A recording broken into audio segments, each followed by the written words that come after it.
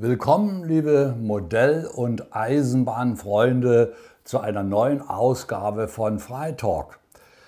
In der vergangenen Woche machte via Internet eine Meldung die Runde, das Projekt Ein Zug für Mitteldeutschland sei ins Stocken geraten. Das Geld wäre ausgegangen und es stünde ja schon fast vor dem Aus. Also ich gebe zu, es hat mich auch etwas erschrocken gemacht, denn alle, die dieses Projekt verfolgen, waren bisher frohen Mutes. Und da tauchte wie aus dem Nichts diese ominöse Meldung auf. Also habe ich die Gelegenheit am Schopfe gepackt, denn bei den Schwarzenberger Eisenbahntagen letzte Woche waren Vertreter dieses Projektes vor Ort. Ja, und mit Dietmar Röder bin ich ins Gespräch gekommen. Hier also die neuesten und verbindlichen Infos zum Stand Ein Zug für Mitteldeutschland aus erster Hand. So, ich spreche jetzt mit Dietmar Röder. Und Dietmar arbeitet an dem Projekt Ein Zug für Mitteldeutschland. Und da gab es ja in der vergangenen Woche oder in den letzten Tagen, sage ich mal, ja, so ganz komische ähm, Meldungen, bis hin zur Feststellung mancher Eisenbahnfreunde, das Objekt ist gestorben. Dietmar, was ist dran? Das stimmt so nicht. Es, ist, es stimmt, dass wir unser Projekt finanzieren über Fördermittel, Eigenleistung und Spenden äh, Fans und Freunde der Eisenbahn. Natürlich äh, hat dieses Projekt, was wir uns vorgenommen haben, auch Ecken und Kanten.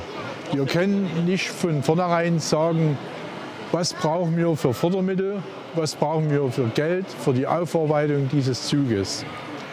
Und es ist äh, jetzt in letzter Zeit durch äh, die Arbeiten in Halberstadt an den Fahrzeugen äh, festgestellt worden, dass mehr Aufwand ist, zum Beispiel im Stahlbau, Klempnerarbeiten, dass auch die Kühlanlagen der Motoren der 12 KVD äh, total unbrauchbar sind und neu hergestellt werden müssen. Und diese Mittel, die wir dazu noch benötigen, sind zusätzliche Kosten ungefähr in Höhe von 10, 15 Prozent, die wir jetzt noch aufbringen müssen. Aber durch unseren Geschäftsführer, Herrn Lieb, der äh, sehr genau aufs Geld schaut und auch Wege und Mittel findet, um diese Mittel noch zu beschaffen, denke ich, äh, gibt es keine Schwierigkeiten, dass wir unser Ziel, diesen Zug, äh, man kann jetzt nicht sagen äh, Ende des Jahres oder Anfang äh, nächstes Jahr, Anfang äh, nächstes Jahres auf die Schiene zu bringen, dass wir das auf alle Fälle schaffen. So, wir blenden jetzt auch gerade die, das Spendenkonto ein, denn wir wollen es nicht versäumen, auch an dieser Stelle alle Eisenbahnfreunde und Fans aus nah und fern sozusagen aufzurufen, mitzuhelfen, dass dieser Zug für Mitteldeutschland äh, auf die Schiene kommt. Mal eine andere Frage, ähm, was war das für ein Gefühl vor ein paar Jahren, als ihr den Zug in Lichtenfels abgeholt habt? Also ich war damals persönlich nicht mit dabei, aber wenn man die Bilder sieht oder wenn, man, wenn ich mit den Kollegen spreche, die damals mit dabei waren, war es erstmal ein Gefühl, was kaum zu erwarten war. Und die Idee, erstmal diesen Zug wieder fahrbereit zu machen, äh, zu verwirklichen, hat damals noch nie jemand richtig geglaubt. Oder wir hatten, die hatten die Idee und hatten versucht, aber keiner hatte bis, jetzt, bis dahin auch eine Lösung gehabt. Es wurde dazu nach Dresden gebracht und äh, die GGMBH gebildet und es fanden sich viele Leute, äh, ehemalige Eisenbahner, Interessenten, die sich sofort bereit erklärt haben, da mitzuarbeiten. Alles ehrenamtlich. Wir treffen uns im Monat einmal in Dresden oder jetzt auch viele Stunden in Halberstadt oder in Birnau, überall, wo unsere Teile aufgearbeitet werden, um ehrenamtlich mitzuwirken, diesen Zug wieder zum Fahren zu bringen. Wie viele Unternehmen sind denn deiner Schätzung nach beteiligt an der Aufarbeitung dieses Zuges?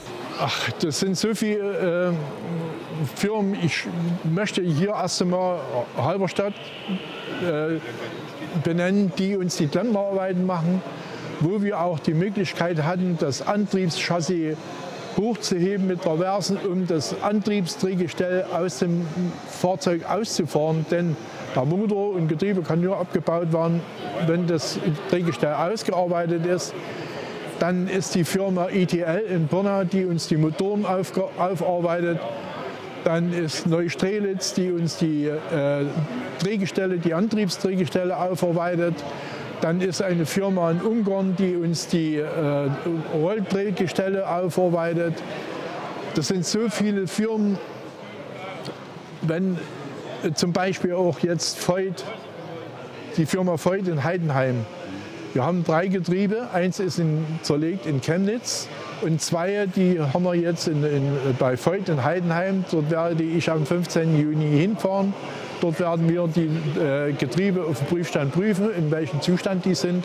Und das sind auch noch die Probleme, die wir haben, weil wir nicht wissen, in welchem Zustand die sind. Was müssen wir noch investieren, um die Getriebe aufzuarbeiten? Nun ist das ja ein Görlitzer Zug. Ja. Und ähm, ich oute mich auch jetzt gegenüber den Zuschauern. Ich bin ja auch ein gebürtiger Görlitzer und ich habe als kleiner Stöpsel, möchte ich mal sagen, einen dieser Züge aus Werk 1 rausrollen sehen zu Werk 2 am Görlitzer Waggonbau. Wie groß ist denn jetzt die Unterstützung von Seiten des Waggonbau Görlitz? Also wir haben äh, über Spenden von, von Waggonbau oder wir hatten mal eine, auch eine Präsentation mit in Görlitz äh, gemacht äh, vor anderthalb Jahren. Dort äh, war von Seiten des Betriebsrates von Werk Görlitz großes Interesse und äh, die haben uns auch äh, finanziell unter, unterstützt. Und auch wenn es Arbeiten gibt, können wir uns die, das Werk Görlitz noch machen können. Zumal ja auch Bau, die Baupläne wahrscheinlich noch da ja. waren. Ja.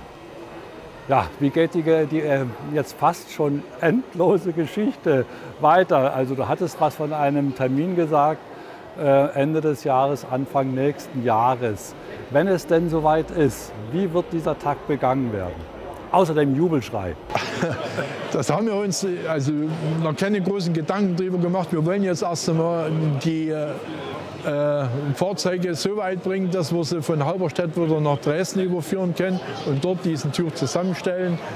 Und ich denke, dass wir auch über Medien und über die Presse uns rechtzeitig Bescheid geben, wenn wir ein Produkt, ein Ergebnis präsentieren können und dann auch vielleicht schon einen Termin nennen können, wo wir den Zug als erste Fahrt, Jungfernfahrt wieder auf die Schiene bringen.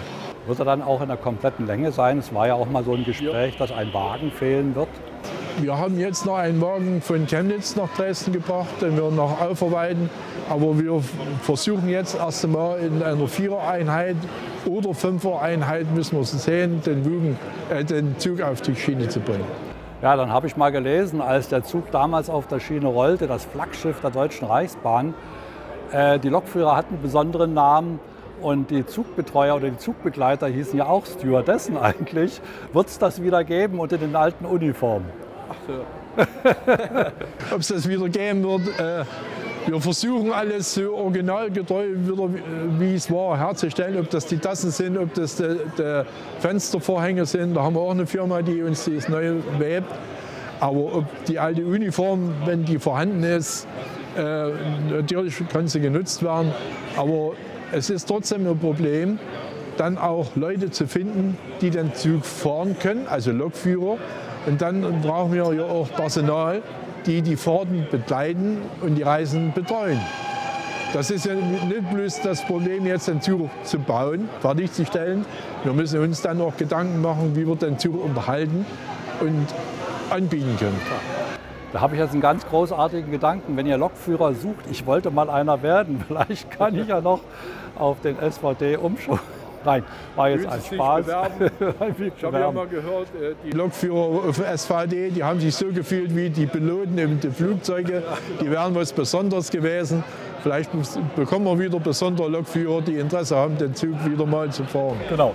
Ich möchte mich noch mal ganz herzlich bei den Organisatoren von den Eisenbahnfest hier in Schwarzenberg bedanken für die Einladung, dass wir mit hier sein konnten.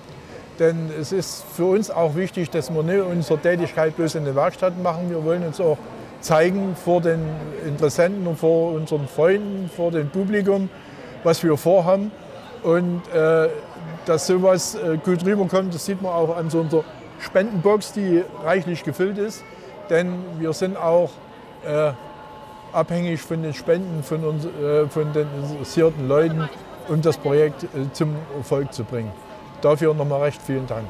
So, und da drücke ich euch natürlich für den Rest des Jahres, muss man sagen, viel Erfolg, dass es wirklich fleißig weitergeht. Äh, und ich werde dann auch gleich die Spendenbox bedienen. Es liegt mir am Herzen, was der Görlitzer, ein Görlitzer sagt, ein Görlitzer ja. muss auf der Schiene wieder fahren.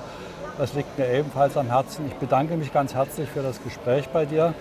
Und da habe ich, glaube ich, dass wir da den Zuschauern und auch den vielen Eisenbahnfans jetzt einen aktuellen Überblick und Stand gegeben haben und wollten eigentlich nur mal auch diese Gerüchte aus der Welt schaffen. Ja, das ist uns auch sehr wichtig ja. gewesen, denn ich hatte auch Bedenken, wenn die Leute so einen Artikel lesen und wir dann hier uns präsentieren und fragen, ob sie spenden und die sagen dann, was ist denn überhaupt mit diesem Projekt? Hat das noch Zukunft? Schafft ihr das noch?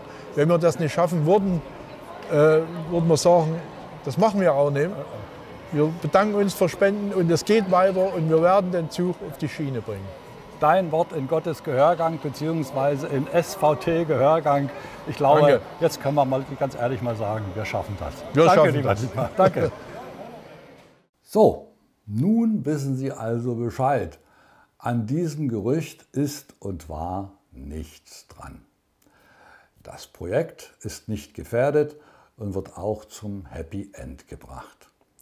Freuen wir uns also darauf, wenn diese einzigartige SVT Bauart Görlitz, das Prestigeobjekt der Deutschen Reichsbahn, wieder auf der Schiene unterwegs sein wird. Den Namen ICE der DDR, wie man ihn auch schon oft bezeichnet hat, muss ich mal dazu sagen, ist einfach falsch und abzulehnen. So, wenn es wieder Neuigkeiten gibt, erfahren Sie es bei uns als erster. Ich bleibe mit Dietmar Röder in Kontakt. Versprochen. Denn nichts ist schlimmer, als haltlosen Gerüchten auf dem Leim zu gehen. In diesem Sinne, vielen Dank fürs Zuschauen. Bis zum nächsten Mal auf gleicher Welle und Kanal. Ihr Frank Buttig. Tschüss.